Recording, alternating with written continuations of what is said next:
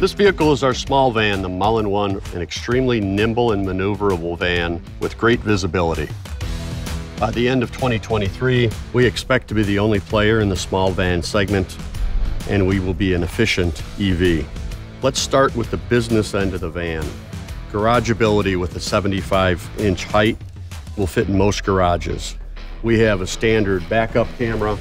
We also have best in class cargo volume of 157 cubic feet. We also have a best-in-class payload capacity of almost 1,700 pounds. And inside the back, we have a quarter inch thick, durable, commercial-grade floor liner and standard D-rings. Ease of loading, entry egress at only 24 inches high, and a highly configurable cargo area with protection on the interior lower body panels, a standard LED cargo lamp, and standard rear backup sensors. So what you'll notice on the side of the vehicle is not only do we have a sliding door on the passenger side, there's also one on the driver's side.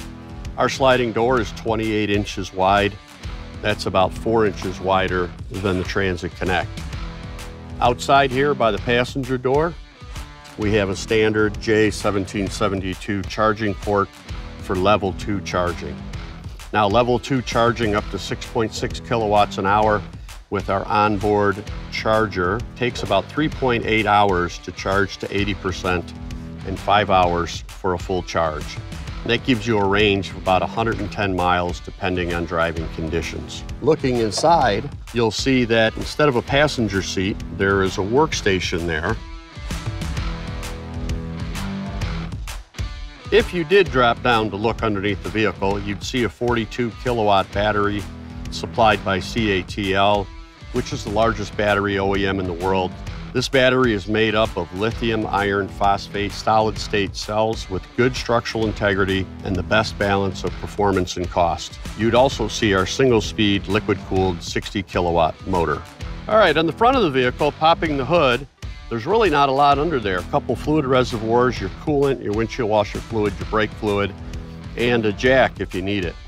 So on the driver's side, when you open the door, you've got your hood latch here. You have your battery door a little further down. Underneath the driver's seat is a 12 volt battery, which runs a lot of accessories. Very easily accessed if you happen to leave your lights on. On the center console, we have our electronic gear shifter dial, drive, neutral, reverse, and eco mode. So our heating element in this van is a lot different than in what you would see in a normal passenger car. It's called a positive temperature coefficient heater, and that brings efficiency and safety to the EV heating systems. When power is first applied to the PTC heating element, it has a low resistance and draws a large amount of current. As it heats up, the resistance increases and the current draw decreases.